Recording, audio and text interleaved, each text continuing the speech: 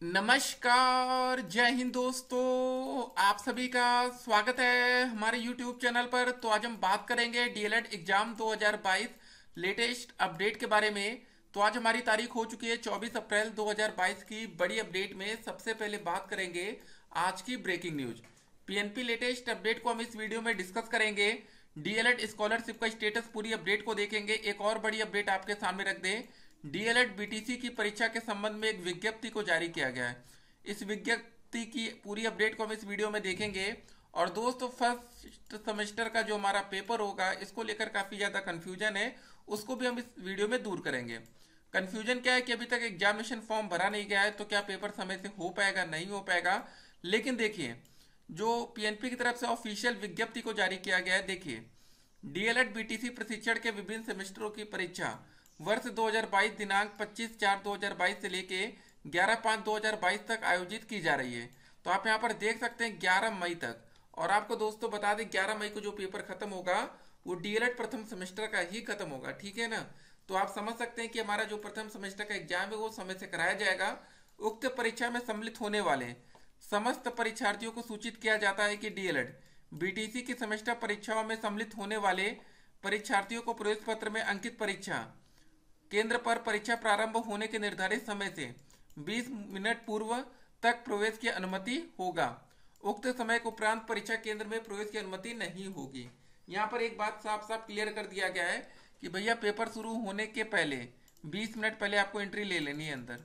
ठीक है, जैसे समझ सकते हैं आप लोग कि अगर हमारा दो तीन सेमेस्टर का जो पहला पेपर होगा, वर्तमान भारतीय समाज एवं प्रारंभिक शिक्षा का, ये पेपर होगा सुबह दस बजे से बारह बजे तक।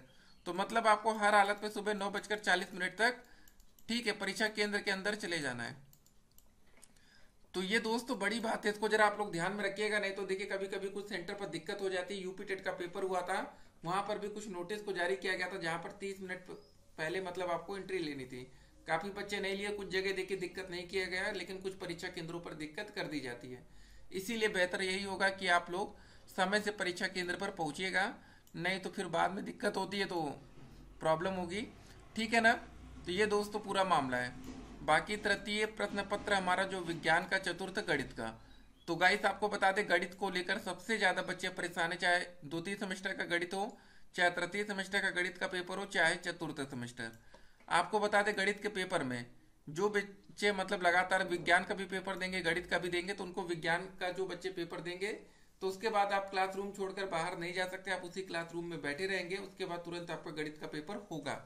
हाँ लेकिन एक बात है गाइस कि आपको रिवीजन का समय मिलेगा या नहीं तो भैया आप जो भी हो, वहाँ पर आप बात कर लीजिएगा, अपनी जो सीरीज़ हो, जो भी आप पढ़ाई के लिए ले जा रहे हो, उससे पढ़िएगा। ठीक है ना? लापरवाही नहीं करना। एक बार आप देख लेंगे तो बेहतर होगा रिविजन करने से। जो फार्मूला होता है ना कभी कभी ध्यान से उतर जाता है तो वो उसके लिए आपको फ़ायदा मिलेगा। इस नोटिस में देखिए साफ़ साफ़ लिखा था कि जिन प्रश्न पत्रों के मध्य अंतराल 30 मिनट का है, उनके परीक्षार्थी को प्रथम पाली की परीक्षा समाप्त होने पर केंद्र से बाहर जाने की अनुमति नहीं होगी। ऐसे परीक्षार्थी अपने परीक्षा कक्ष और स्थान पर ही बैठे रहेंगे। ठीक है, इसमें यह भी लिखा है कि भैया, आप लोग अपना स्थान भी नहीं छोड़ सकते कि पता चले आप अपनी सीट छोड़कर अपने दोस्त के पास जाकर बैठ गए, लेकिन करिएगा। दिक्कत होती नहीं, क्योंकि पेपर आपका ग्यारह बजे से तो नहीं, इस बार इस बार देखिए, जो परीक्षा की टाइमिंग है, गणित के पेपर में इसको चेंज किया गया है। इसको जरा ध्यान रखिएगा। इस बार आपका दोस्त जो हमारा पेपर है, साढ़े ग्यारह से साढ़े बारह। पिछली बार ये पेपर बारह बजे से होता था, लेकिन इस बार परीक्षा की जो समय सारिणी है, उसमें थोड़ा सा परिवर्तन किया गया है। ठीक है ना? एक और दोस्तों बड़ी खुशखबरी निकल कर आई उत्तराखंड के शिक्षा मित्रों के लिए, क्योंकि इनका जो मानदेय पाँच हज़ार रुपये बढ़ा दिया गया है। अपडेट देहरादून से सरकार ने प्रदेश के दूर दराज के स्कूलों में कार्यरत, ठीक है, शिक्षा मित्रों का मानदेय पंद्रह हज़ार से बढ़ाकर बीस हज़ार रुपये कर दिया है। अपर सचिव दीप्ति सिंह की ओर से जारी आदेश में कहा गया है कि विभाग के प्रस्ताव पर शासन में विचार के बाद राजकीय प्राथमिक विद्यालयों में शिक्षा मित्रों का नियत मानदेय बीस हज़ार रुपये कर दिया गया है। राजकीय प्राथमिक विद्यालयों में 600 से अधिक शिक्षक हैं जो मानदेय बढ़ाने की मांग कर रहे थे। तो सोच सकते हैं दोस्तों, और यूपी में भैया इनकी संख्या तो लाखों में, लेकिन यहाँ पर सैलरी नहीं बढ़ रही है। ग्यारह हज़ार रुपये सैलरी दोस्तों लगभग इस समय शिक्षा मित्रों की है, और यहाँ पर भी उम्मीद है कि जल्द से जल्द बीस हज़ार तक सैलरी पहुंचेगी। अब दोस्तों, वीडियो के अंत में कुछ और बड़ी बातें देखेंगे। डीएलएड प्रथम सेमेस्टर, द्वितीय, तृतीय, चतुर्थ सेमेस्टर परीक्षा की डेट सीट आपने देख लिया। इसी क्रम में दोस्तों, हमारा पेपर कराया जाएगा। बाकी देखिए स्कूटनी का रिज़ल्ट कमेंट बॉक्स में दोस्तों लिंक दिया गया। देखिए, चतुर्थ सेमेस्टर पेपर होने से पहले अगर स्कूटनी का रिज़ल्ट आ जाए तो बेहतर होगा ताकि बच्चों को क्लियर हो जाए कि भैया, हमारा नंबर बढ़ गया, हमें पेपर देना है कि नहीं। और उसी हिसाब से बच्चे तैयारी करें। लेकिन स्कूटनी रिज़ल्ट में बड़ी लेट लतीफी यहाँ पर देखने को मिली। और एक बड़ी लापरवाही भी हम कह सकते हैं छात्रों के साथ किया गया। देखिए, हुआ क्या ना, जो हमारा प्रथम, द्वितीय, तृतीय सेमेस्टर का पेपर पहले हो गया था, ठीक है तो उसका दोस्त स्कूटनी के रिज़ल्ट समय से आ गया, लेकिन चतुर्थ सेमेस्टर वाली दिक्कतें यहाँ पर सामने आई। उसके बाद दोस्तों बात करेंगे डीएलएड स्कॉलरशिप का स्टेटस। अगर अभी तक आपने अपना स्कॉलरशिप का स्टेटस चेक नहीं किया कि क्या स्टेटस है, पैसा आया कि नहीं आया तो उसको एक बार आप लोग देख लीजिएगा। ठीक है तो बढ़िया रहेगा। उसके बाद यूपी टेट रिज़ल्ट का डायरेक्ट लिंक। जी हाँ दोस्त यूपी टेट रिज़ल्ट को भी लगातार आपको चेक करते रहना है। बाकी देखिए, जो भी अपडेट आएगी, कोई भी खबर देखिए, आपसे छूटेगी नहीं थी यूट्यूब चैनल पर, ठीक है ना? तो लगातार चेक करते रहिए, बाकी नई शिक्षक भर्ती अभी देखिए क्या है ना कि भर्ती नहीं आए तो बेहतर होगा फेल छात्रों के लिए और डीएलएड 2021 बैच के लिए। अगर वैकेंसी निकल आती है तो भैया फेल छात्र नई भर्ती से पूरी तरीके से बाहर हो जाएँगे। अब देखिए, यहाँ पर दो तरह से आप फेल हो सकते हैं। या तो आप टेट में फेल हो सकते हैं, या तो आप डीएलएड में। तो जितने बच्चे फेल छात्र हैं तो भैया, या तो आप अपना टेट क्लियर कर लीजिए, डीएलएड क्लियर नहीं तो इसको भी आपको पहले क्लियर करना पड़ेगा। जब आप सभी विषयों में पास होंगे, तभी आपको मौका मिलेगा, ठीक है? नई शिक्षक भर्ती में। बाकी दोस्तों, फेल छात्रों के लिए जो भी बड़ी खबर आएगी, उस खबर को भी हम आप तक पहुंचाते रहेंगे। कोई भी खबर देखिए, आपसे छूटेगी नहीं।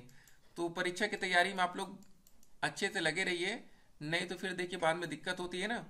तो ये अपडेट हो गई, ठीक है? तो यूपी टेट रिज़ल्ट से लेकर नई शिक्षक भर्ती, फेल छात्रों के लिए बड़ी खबर तो हर एक अपडेट को दोस्तों ऐसे ही हम लोग कवर करते रहेंगे, कोई भी खबर आपसे छूटेगी नहीं। बाकी डीएलएड 2019 बैच से लेकर 21 बैच हर एक अपडेट को आप तक पहुंचाएँगे। अब देखिए, परीक्षा के लिए समय काफ़ी कम है और कल से ही दोस्तों हमारा पेपर शुरू हो रहा है। अब जिन बच्चों की बैक वर्तमान भारतीय समाज में होगी, वो बच्चे कल अपना पेपर सुबह दस बजे से बारह बजे तक देंगे। अब तैयारी कैसे करनी है क्या क्या मामला इसको भी जरा हम समझेंगे, नहीं तो फिर देखिए समय निकल जाएगा, फिर बाद में दिक्कत होगी। अब दोस्तों, कल हमारा पेपर सुबह दस से बारह बजे तक है, ठीक है? बाकी जो भी अपडेट आएगी, अपडेट तो हम आप तक पहुंचाते रहेंगे। कोई भी खबर आपसे देखिए छूटेगी नहीं। तो अब करना क्या? है तैयारी कैसे करनी? मेन बात ये है, ठीक है? मुद्दे की बात ये अब देखिए गाइस कि आप सीरीज़ उठा लीजिए, ठीक है? अंतिम समय में देखिए सीरीज़ ही सबसे बेटर होता है। अब बुक से जितना पढ़ना होगा, आपने पढ़ लिया होगा, लेकिन अंतिम समय में सीरीज़ देखिए, ठीक है? कोई भी मतलब छोड़िएगा मत पार्ट की लघुत्री का छोड़ दिए अति लघुत्री का या बहुविकल्पी का। तो लघुत्री तो आपको स्पेशली पढ़ना है, क्योंकि लघुत्री में सारे क्वेश्चन दिए रहते हैं, बहुविकल्पी के भी अति लघुत्री के भी। तो हो सके तो आप तीनों पार्ट पढ़िए, नहीं तो पहले बहुविकल्पी आपको लगता है कि आसान है, लेकिन लघु तरी से शुरू करिएगा, क्योंकि उसमें काफ़ी चीज़ें आपको याद हो जाती हैं। और देखिए, होता क्या एक बात और आपको बता दें, वीडियो के अंत में। देखिए दोस्तों कॉपी भरने तो कुछ नहीं होगा, बिल्कुल आप टू द पॉइंट आंसर देंगे। अगर आपको आता है, नहीं आता, तब तो कुछ भी आप बनाकर लिख सकते हैं। ठीक है, अगर कोई क्वेश्चन एक नंबर का है तो आपको उतना ही लिखना है कि आपको नंबर पूरा मिले। ये नहीं दोस्तों क्वेश्चन आसान था, पूछा कि आप पूरी एक पेज भर दें। नंबर आपको एक ही मिलेगा। समय की बर्बादी मत करिएगा टाइम मैनेजमेंट बहुत ही ज़रूरी है। स्पेशली मैथ में, जरा ध्यान रखिएगा। गणित में 25 नंबर का पेपर होगा, पाँच बहुविकल्पी क्वेश्चन पाँच मिनट लगेगा। छह क्वेश्चन अति लघुत्री के एक अति लघुत्री का क्वेश्चन करने में मैक्सिमम दो मिनट का समय लगता है। और याद रखिए, जो प्रश्न आपको पहले आए, उन्हीं प्रश्नों को पहले करना है। मान लीजिए लघुत्री का दोस्त तो कोई क्वेश्चन है, बारह नंबर वो आपको आ रहा है। तो पहले आप बारहवा क्वेश्चन कर लेंगे। जैसे पहले पाँच बहुविकल्पी कर लीजिएगा, उसके बाद फिर बारहवा क्वेश्चन करिएगा। ठीक है, थोड़ा अच्छा लगेगा। तो ऐसे करना है। नहीं तो फिर काफ़ी बच्चे गलती क्या करते हैं? कि यार, बारहवा क्वेश्चन आ रहा, लेकिन पहले सोचते हैं कि चलो अति लघुत्री छह नंबर से करते हुए चले, फिर बारहवें में पहुँचेंगे। ये गलती बिल्कुल मत करिएगा। जो प्रश्न पहले आए, उसका आंसर भी आपको पहले करना है। ठीक है, ये पास होने का सबसे आसान तरीका है। काफ़ी बच्चे ये गलती करते हैं। लास्ट टाइम में फिर आपके दिमाग से उतर जाता है, क्योंकि कुछ कठिन क्वेश्चन जब आप सॉल्व करते नहीं होता आपसे, फिर आपको लगता है कि यार आता हुआ क्वेश्चन भी लग रहा है, आप भूल गए। इस बात को ध्यान रखिएगा, फिर मिलते हैं एक और वीडियो में। पेपर के लिए all the best have a nice day